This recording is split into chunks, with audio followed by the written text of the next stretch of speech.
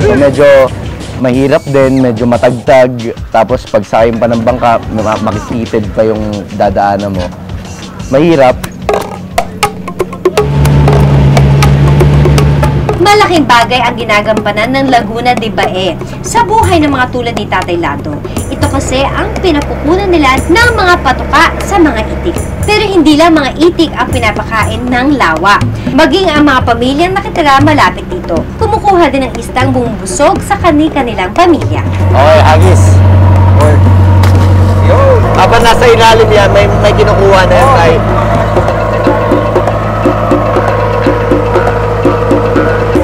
Oo, oh, sige, higit.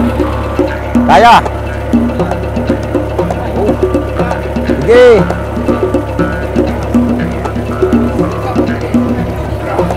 Great job, Ruru! Kayang-kaya mo naman pala eh. Si Vitus kaya, carry rin kaya ang pagkuha ng suso? Habang umangat siya, bumibigat talaga siya, no? Parang sisiw lang kina Ruru at Vitus ang pangunguha ng mga suso. Tama ba ako, guys? So yan, tinatanggal po natin yung sand nung suso. Tapos pag wala na siyang dumi, Parang pagka okay na, saka na siya lilipat. na. Yun. Yun yung mga isda po, oh.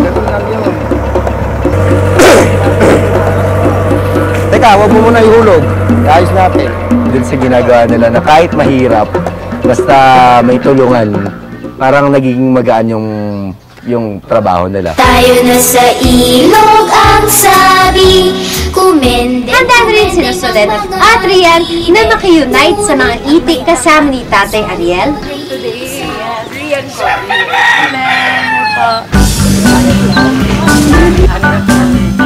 Solen at Rian extra careful sa pagkuha at pag-handle ng dog eka. Oh, ang dami dun, oh. Hi guys! Don't mind me.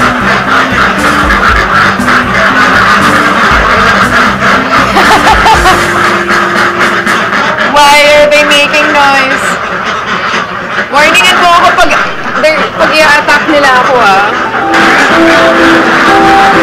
Naku Rian, don't worry, mababait ang ducks na yan. Lalo na sa pretty girls like you and Solen. Oh, it's so warm. There's so many. Did, did you feel some of the warm ones? Yeah. Ang ingay nyo. oh my gosh, galit na sila. Ang galit. Galit na galit na. Pasensya na po. Gutom lang ako. Ingatan mo so sa paghawak at baka dumulas yung tray sa kamay mo. Mabilis naman kasi parang lahat sila sa isang corner sila nagle-lay, di ba? Or hindi ko alam kung galing sa isang dock yan. Parang may may Mga mga butas. area lang na dun lang talaga sila naglalay ng egg. Ang mga naipong itlog dadalhin sa bodega o incubation area kung saan ito sunod na ipoproseso. Bawat taon sa farm ay may kani-kanilang gawain. Si Tatay Ben ang nakatoka rito sa incubation and hatching area. Yung incubator, para mag-grow yung chick, ano, um, para sa balot, kasi di ba yun yung may chick.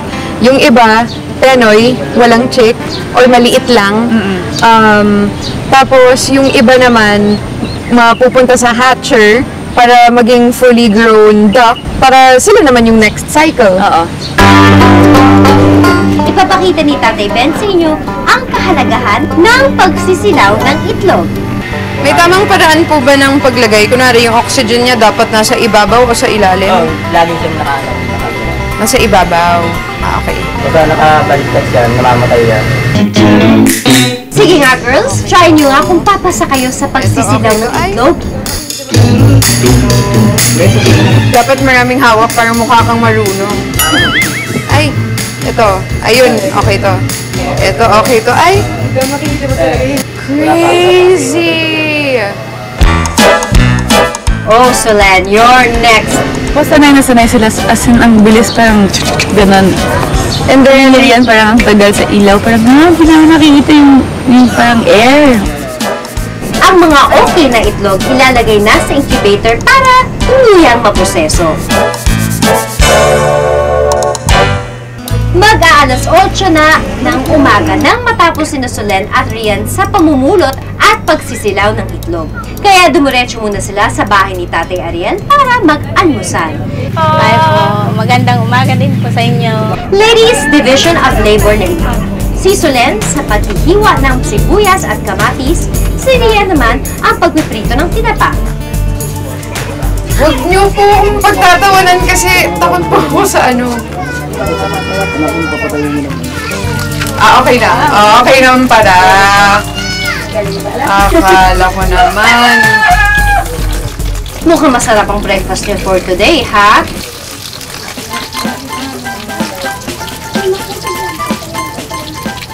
May, may, may allergy talaga ako sa onions. Sensitive, sensitive eyes mo eh. Ultra sensitive ako. Tingnan nyo. Gano'ng katagal ba dapat pin... Sandali lang. So, malapit na to. Aray ko! Puputok yan. Excited ako sa breakfast natin. Mahilig ako sa mga pritong food. Okay, almusal na tayo. time. Ilan tayo? Right here. One, two, three. Yung share, share tayo ng flat. Ito, ito yung kanina ko pang gustong subukan. Ayan. At least na-try din namin yung quality nga talaga ng nung produkto nila na ah, salted egg, yung itlog na maalat. Ah, Pero hindi siya masyadong maalat. Mm-mm, sakto lang. You want more? Sarap ba? Sobrang loving nila. Yeah. Sobrang loving nila. Parang hindi nila tinetake for granted yung pamilya nila at ano, 'di ba, ang isa't isa. I think it was an important part uh, of this experience na makilala talaga namin yung pamilya at ma-experience din kung gaano sila ka-hospitable sa amin kasi yun nga yung nag-inspire sa amin para maging uh, competitive. Patatalo ba ang boys sa girls? Tapos ang nakakapagod na pagkukuha ng mga suso sa Laguna de Bay, may inihanda si Tatay Lando para kina Ruru at Fidos. Malaki ito.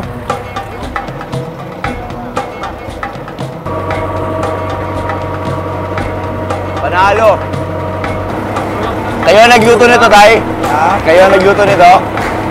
Hindi, yung anak ko. Ah, pakagaling naman ng anak mo magluto. Ayun nga, parang, di ba, parang after ng pagod namin, parang hirap kasi mag-akyat ng mga suso. May hinahayaan pala si Kuya Lando sa amin na pagkain, which is yung sinigang sa kanduli. Parang ang sarap.